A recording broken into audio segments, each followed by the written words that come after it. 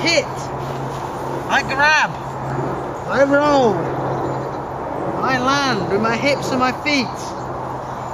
This is the difference between Kadochnikov um, system of survival or Systema system of survival and sports martial arts.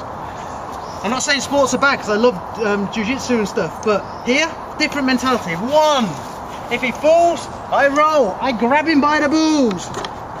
I smash him on the face. I get up and I run.